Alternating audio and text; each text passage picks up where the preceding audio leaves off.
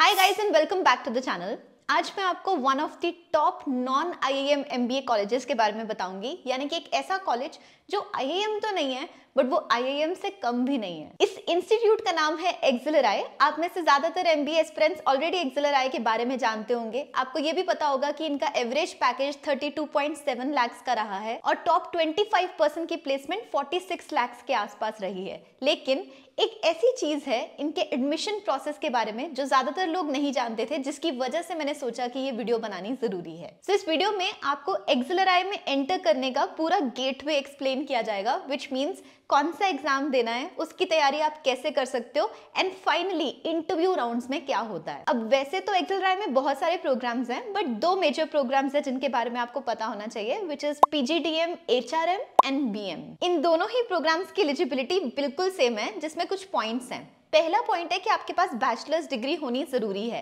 Bachelors degree या तो minimum तीन साल की हो या उसकी कोई इक्विवेलेंट हो। दूसरी कंडीशन ये है कि अगर आपके पास बैचलर्स डिग्री नहीं है इन दैट केस ऑल्सो आप एलिजिबल हो। आप अपने फाइनल ईयर में इसके लिए अप्लाई कर सकते हो, लेकिन आपके जो एग्ज़ाम्स हैं, आपके कॉलेज के फाइनल एग्ज़ाम्स वो टेंथ ऑफ़ जून तक कंप्लीट हो जाने चाहिए, जिस साल आप एक्सिलराई में एडमिशन लोगे। फाइनल पॉइंट एलिजिबिलिटी का है कि आपको जैट एग्ज़ाम लिखना ज़रूरी होता है एक्सिलराई के लिए। जैट एग्ज़ाम हर साल साल में जनवरी के मंथ में कंडक्ट होता है और ये सिर्फ़ उन लोगों के लिए ज़रूरी नहीं है जो कि इंटरनेशनल स्टूडेंट्स है। वो जैट भी दे सकते हैं और जी भी दे सकते हैं। अब अगर आपने इन एलिजिबिलिटी पॉइंट्स में एक इंपॉर्टेंट चीज़ नोट की हो तो आप देखोगे कि जैसे कैट या किसी भी और एग्ज़ाम में एक कंडीशन होती है ना कि आपके ग्रेजुएशन में मिनिमम 50 परसेंट मार्क्स होने चाहिए। एक्सिलराई या जैट के लिए ऐसी कोई कंडीशन नहीं है। आपके ग्रेजुएशन टेंथ ट्वेल्थ में कितने भी मार्क्स हो, ये आपके अकेडमिक मार्क्स को वेटेज नहीं देते। अगर आप इन तीनों एलिजिबिलिटी क्राइटेरियाज को मीट करते हो, उसके बाद आपको सिंपली जैट का एग्ज़ाम लिखना होता है एंड जैट एग्ज़ाम के स्कोर के बेसिस पे आपको शॉर्टलिस्ट आती है। जैट एग्ज़ाम के स्कोर के अलावा दो और क्राइटेरिया जिनको ये कंसिडर करते हैं शॉर्टलिस्ट के लिए, उसमें पहला पॉइंट होता है आपकी अकेडमिक डाइवर्सिटी यानी कि आप कौन से अकेडमिक बैकग्राउंड से आए हो। जैसे अगर कोई नॉन इंजीनियर है, कोई आर्ट्स का स्टूडेंट है तो उसको ज़्यादा वेटेज मिलती है। दूसरा पॉइंट है वर्क एक्सपीरियंस का but relevant work experience so XLRI में शॉर्टलिस्ट के लिए तीन चीज़ें ज़रूरी हो गई। आपके जैट एग्ज़ाम का स्कोर आपका अकेडमिक बैकग्राउंड और आपका रेलिवेंट वर्क एक्सपीरियंस इसमें से आप अपने जैट एग्ज़ाम के स्कोर पे जितना फोकस करते हो, उतने आपके चांसेस ऑफ़ सिलेक्शन बढ़ते हैं। अब हम जैट एग्ज़ाम के बारे में कुछ पॉइंट समझ लेते हैं। जैसे कि जो कैट एग्ज़ाम है, उसका सारा सिलेबस जैट में भी आता है। कुछ ऐसे सेक्शंस हैं जो कैट में नहीं आते।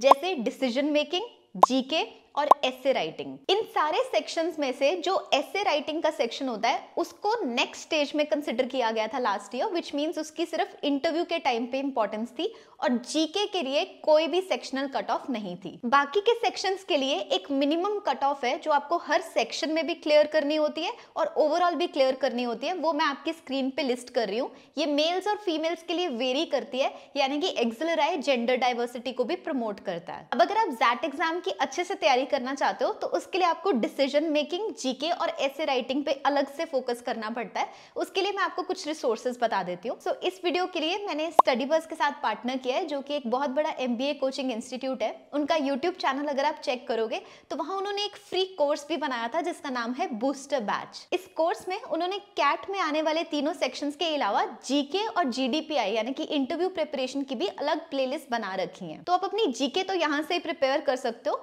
उसके अलावा जो डिसीज़न मेकिंग है, उसके लिए भी उन्होंने एक डेडिकेटेड वीडियो अपने चैनल पे बना रखी है, जिसमें सारे टाइप्स के क्वेश्चंस कवर्ड हैं। अगर आपको उनकी टीचिंग क्वालिटी अच्छी लगती है तो उनके जो फाउंडर हैं सौरभ, जो कि खुद भी एक एक्सेल राय के एलम रह चुके हैं, उन्होंने आप सबके लिए एक ल्यूक्रेटिव ऑफ़र निकाला है on their pen drive courses इनकी दो पेन ड्राइव हैं, एक कैट की और एक ऑल एम एग्ज़ाम्स की। इसमें वो आपको आपके घर पे एक पेन ड्राइव भेजते हैं, जिसमें सारा का सारा already recorded video lectures material e books यानी कि हर सेक्शन के काफ़ी डिटेल्ड क्वेश्चंस ऑलरेडी अवेलेबल होते हैं, जिनको आप अपने घर पे बैठे अपनी पेस पे कंप्लीट कर सकते हो। इसी के साथ साथ स्टडी बस की वेबसाइट पे जितने भी एम एग्ज़ाम्स के मॉक्स हैं, वो भी आपको एक्सेसिबल होंगे in this pen drive course तो सबसे पहले आप इनका बूस्टर बैच चेक कर लो। अगर आपको टीचिंग क्वालिटी अच्छी लगती है तो आप इनका पेन ड्राइव कोर्स भी कंसिडर कर सकते हो। इसका लिंक मैं पिन कॉमेंट और डिस्क्रिप्शन में एड कर दूँगी। तो एक बार आपने जैट एग्ज़ाम क्लियर कर लिया और आपके पास शॉर्ट लिस्ट आ गई, उसके बाद होता है आपका पर्सनल इंटरव्यू राउंड अब आपके पर्सनल इंटरव्यू राउंड में वो आपको किन पैरामीटर्स पे इवेलुएट करते हैं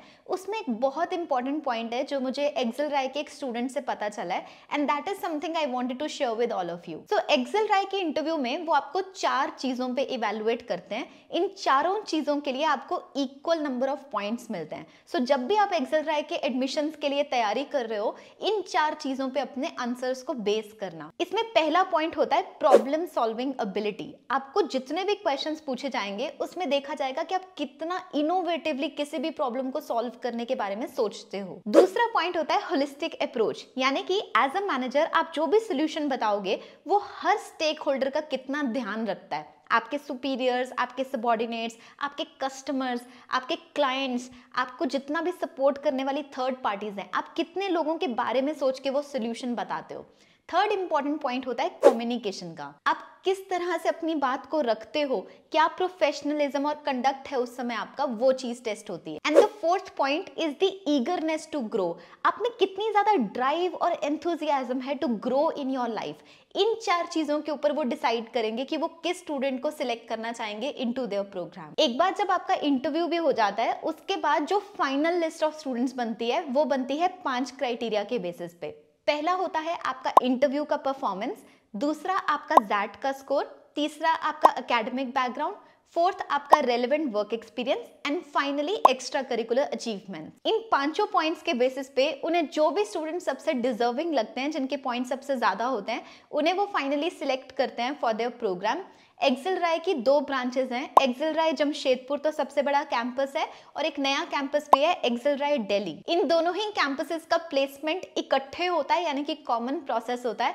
And it has been seen over the years कि एक्सिल राय की reputation as well as placement records have been increasing every year so अगर आप MBA करना चाह रहे हो और आप आई को टारगेट कर रहे हो आई वुड हाईली रिकमेंड कि आप एक्सिल राय को ज़रूर कंसिडर करो। It is one of those M colleges जो बहुत सारे लोगों के लिए एक प्रेफरेंस होता है over many many I Ms so do check out other details of this college is well अगर आपको कोई और क्वेश्चन हो you can let me know in the comments thank you so much for watching this guys and all the very best